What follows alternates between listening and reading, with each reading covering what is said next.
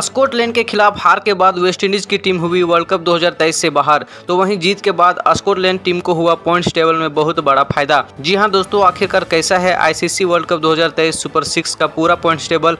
बताएँगे सब कुछ आज के इस बेहद ही खास वीडियो में आगे। लेकिन उससे पहले दोस्तों, आप भी चाहते हो कि वेस्टइंडीज की टीम ओडीआई वर्ल्ड कप 2023 के लिए क्वालिफाई करे तो इस वीडियो को दिल से एक लाइक कर दीजिए। साथ ही क्रिकेट मैदान से जुड़ी और ऐसे ही खबरें पाने के लिए हमारे चैनल को सब्सक्राइब करना बिल्कुल भी ना भूले। तो चलिए वीडियो को शुरू करते हैं। दोस्तों, आपको बता दें कि आज ICC world cup 2023 super six का तीसरा मुकाबला वेस्टइंडीज और स्कॉटलैंड के बीच खेला गया, जहाँ पर स्कॉटलैंड की टीम ने टॉस जीतकर पहले गेंदबाजी करने का फैसला किया। तो वहीं दूसरी ओर टॉस हारकर पहले बल्लेबाजी करने उतरी वेस्टइंडीज टीम की शुरुआत बहुत ही खराब रही। स्कॉटलैंड टीम की खतरनाक बॉलिंग अटैक के सामने कोई भी वेस्टइंडीज बल्लेबाज ज़्यादा देर तक क्रीज पर नहीं टिक पाया और एक एक करके विकेट गवाते चले गए। वेस्टइंडीज की ओर से सबसे ज़्यादा जेसन होल्डर ने 45 रन बनाए, जिसके मदद से टीम निर्धारित 50 ओवर में 10 विकेट गवाकर एक रन बनाने में सफल रही। स्कॉटलैंड की ओर से मैक मिलन ने सबसे ज़्यादा तीन विकेट झटके, जवाब में एक रनों के लक्ष्य का पीछा करने उतरी स्कॉटलैंड टीम की शुरुआत खराब रही, लेकिन मिडिल ऑर्डर के बल्लेबाजों ने तीसरे विकेट के लिए बेहतरीन साझेदारी निभाई और मुकाबले को आसानी से जीत लिया। इस हार के साथ वेस्टइंडीज की टीम वर्ल्ड कप 2023 से लगभग बाहर हो गई है।